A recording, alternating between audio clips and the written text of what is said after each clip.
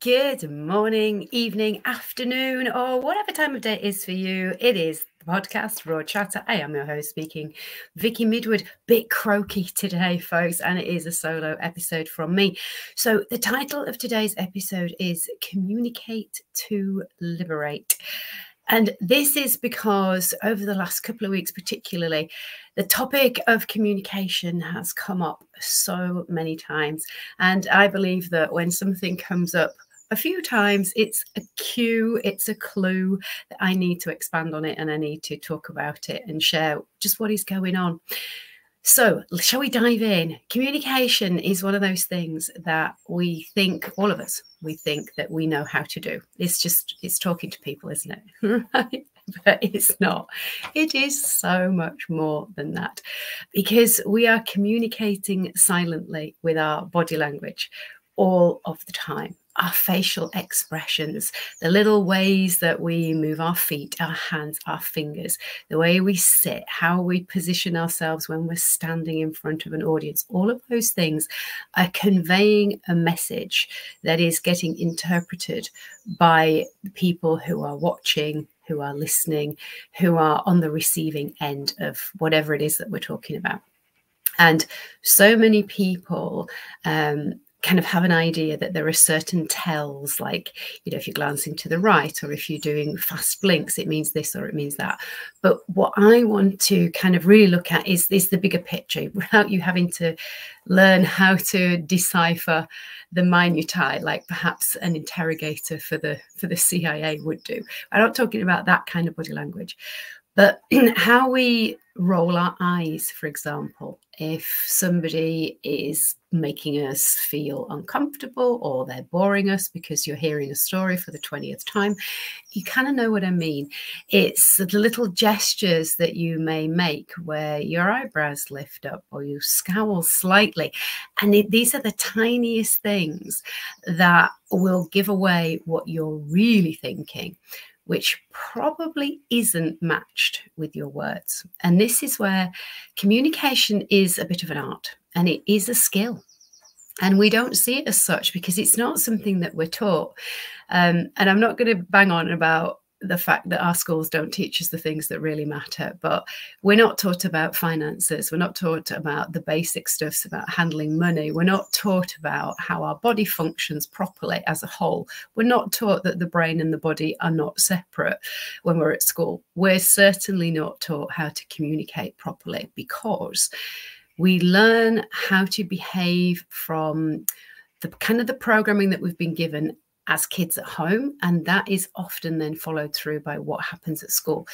And the majority of the time, you have to recognize that schools have an agenda. They believe that they have to stay where they are in the league tables. It's all about teaching you to learn well and to do well in exams. And for them, they have tick boxes of where you are supposed to be in terms of your ability to read, for example, by a certain age, or to be able to tie your shoelaces, or and those kinds of things. And if you don't tick that box, then there is a there's a kind of um is a pressure that they try not to put on you, but they do it's kind of masked as encouragement to get you to to get on board and to get with the kind of the program. And here's the thing we all learn differently. We all pick up things differently. And when we are young we don't have the same powers of interpretation. We don't have the same understanding that different words can mean different things in a different context. And this is where it starts to cause problems when it comes to issues around addiction, around eating disorders, around body image, around alcohol usage, and how we feel just about ourselves in general as, as, a, pe- as a person or as individual people. So, what I hear a lot from my clients is, is the phrase, I don't deserve or I have to work hard for it to count, or it has to be difficult for it to be worth anything.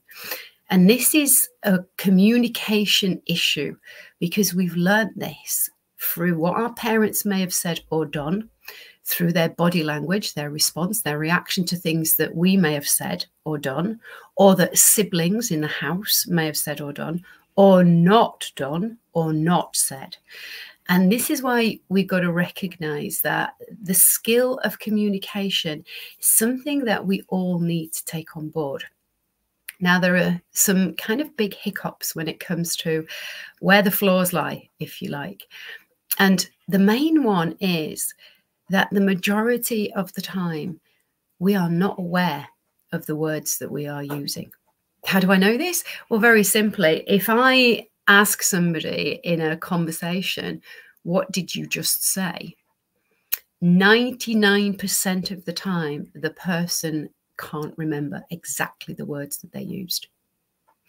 And this is a clue that a lot of what we say and the way that we communicate is very automatic.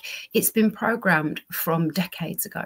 Now, the people I work with tend to be over 35 um, and under 20, right? It's kind of, there's not a, that kind of age group in between is not the age group that I tend to spend a lot of time with our issues kick in when we're very young, especially around food addiction, anorexia, binge eating, anxiety, OCD, that kind of stuff. And and I'm not going to say that cliche, it's not all about the food, because of course the food is a big part of it. But there is something behind what's driving it.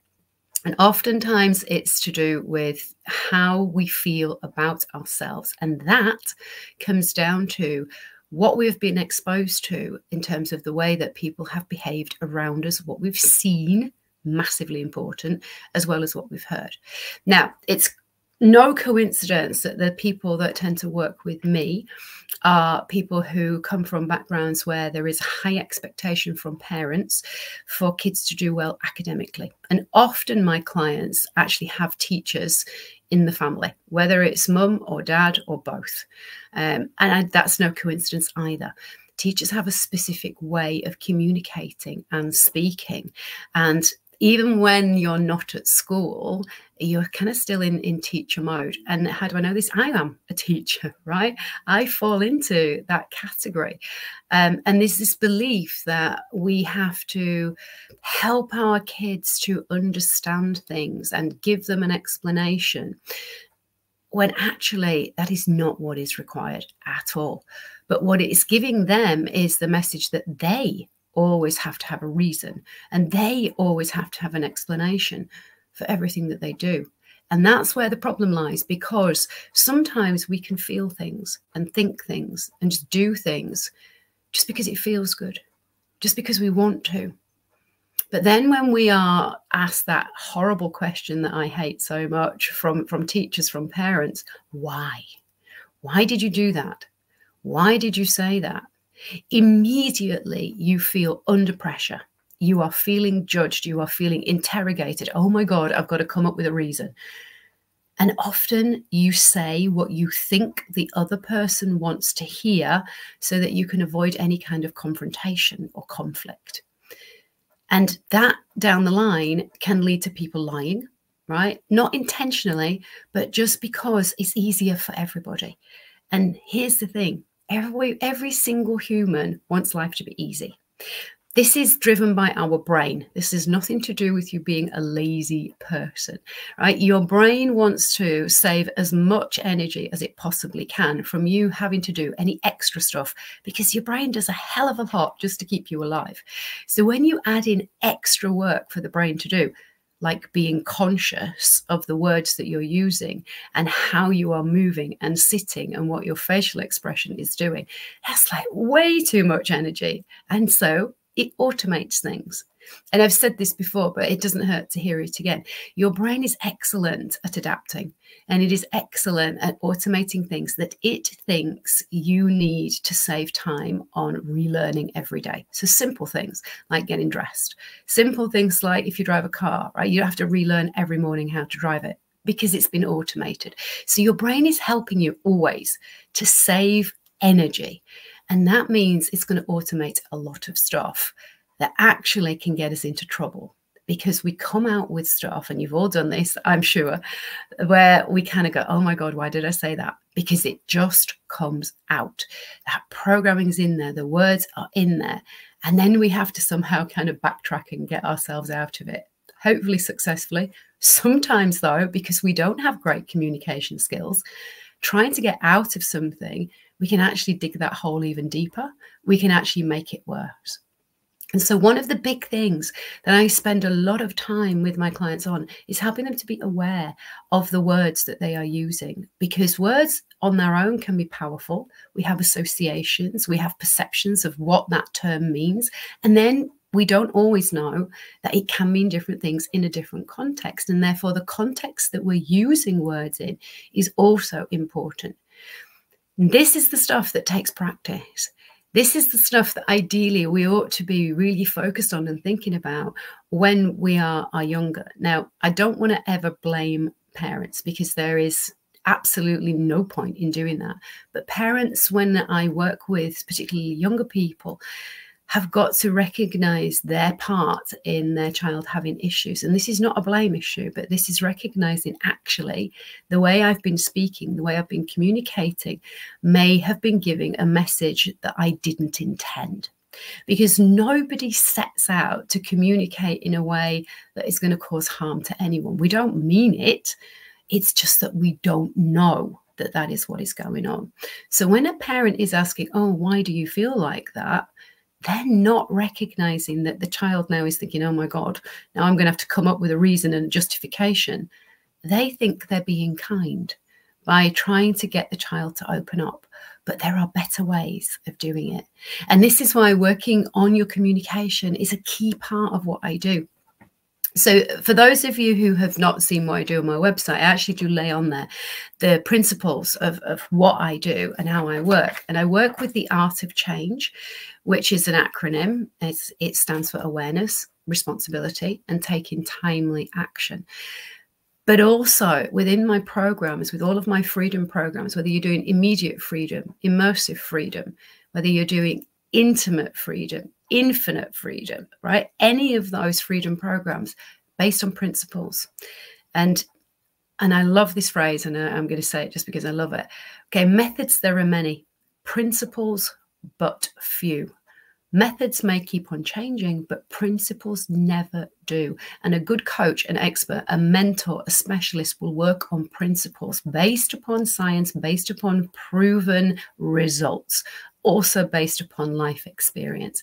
And so the six R's are the principles of my programs, all of them. And that means that we review first, then we renew your connection to your body and mind. So the review is where are you at? Where do you want to be? Right? Why are you not happy? What is going on in terms of how you're feeling around food, around alcohol, around your body? Then we've got to renew that connection to your body and mind and help you to understand they're not separate, they are interwoven all of the time. You cannot separate them. Then we have to look at rehabilitating your gut and brain function because when people have been behaving the way they have around food and around alcohol, there is absolutely going to be dysbiosis as far as the gut microbiome is concerned, but also people don't understand actually how their body works um, in terms of what does your gut actually do? What does your brain actually do? What parts are automatic? What parts come from the survival instincts of the brain what bits are in the the kind of the, the limbic system the automated system? What's going on in your frontal cortex? If you don't know how your brain works if you don't know how your body works it's very difficult to then change things. Then we've got to reprogram your whole language and way of thinking and redesign your way of designing of, of kind of doing your day right because all of this stuff then allows us to kind of tweak and refine as we go along the language part starts from step one right? Because I can see the words you use when you fill out the questionnaires for me. And I already get a clue of your programming from when you were at school, when you were little, from parents, etc and recognizing when we come out with things like yes bot. Yes bot. So i'm hearing you but i'm not going to do what you're suggesting. Oh that's interesting. So when we're hearing well that's interesting when you're presented with a science fact or something that goes against your current belief system what you're saying is okay what you're asking me to do now is change my belief and I'm not sure I'm in a position to be able to do that yet. So interesting is, is a great word because it allows us to move forward. I don't understand is something that people need to be saying more of, but they don't, right? Could you explain that to me a little bit more clearly? Right? These are ways of asking for what you need in a way that doesn't hopefully feel less than I'm stupid, I don't get it. Okay, because what we've got to recognize is when it comes to communication skills, people have some excellent ways of explaining things, and other people have some terrible ways of explaining things.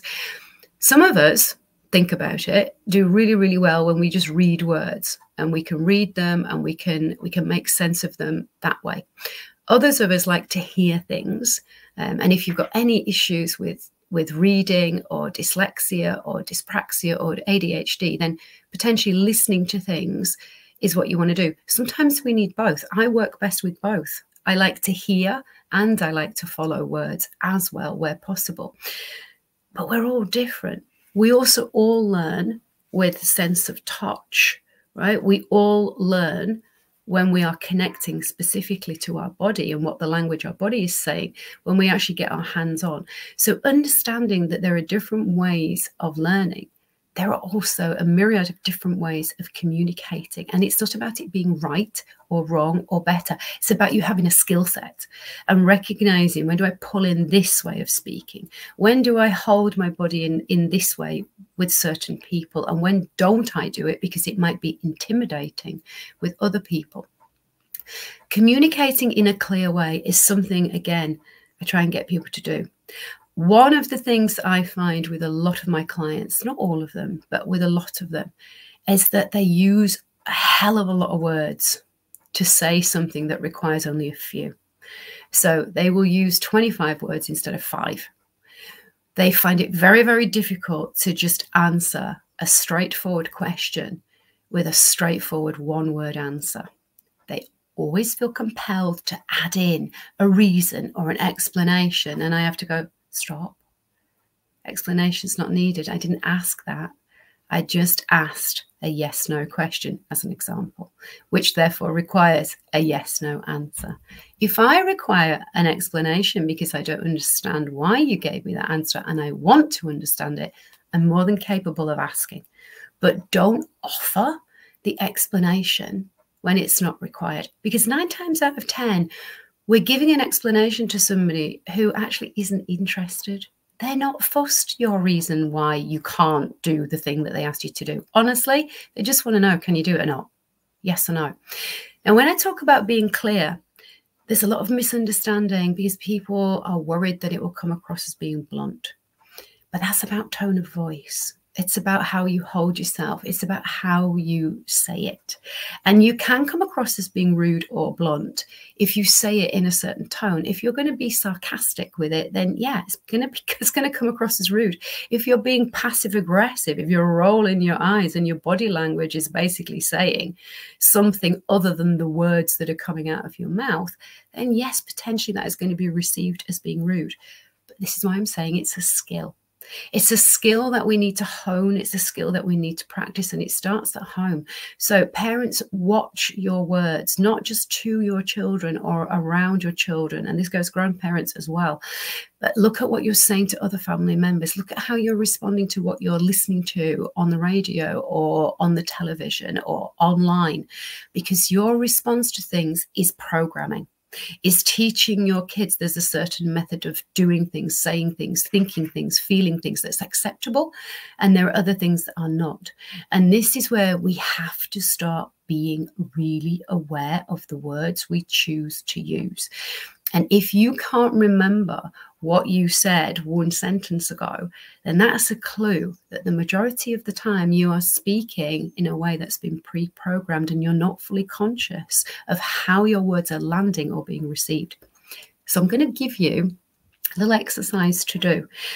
If you're not sure if you're communicating clearly, I want you to try and put yourself in the shoes of the other person because so many of us expect the other person to be a mind reader. And the amount of times I hear, well, they know. Well, they know how I think. They know how I feel. They know what I want them to do. Well, I'm going to put it to you that they don't know. So get clear on exactly what you would like people to do and how you would like them to do it. In other words, be very specific. Because when you start to be conscious of giving specific, clear instructions or communicating in a specific, clear way with detail that leaves no room for assumption or misinterpretation, you're going to start to be conscious of the words you're choosing to use. So that is my challenge to you today. Get conscious of the words that you use, use fewer words to say what you need to say, and get specific and clear with what you're asking the other person to do. Try it, see what happens.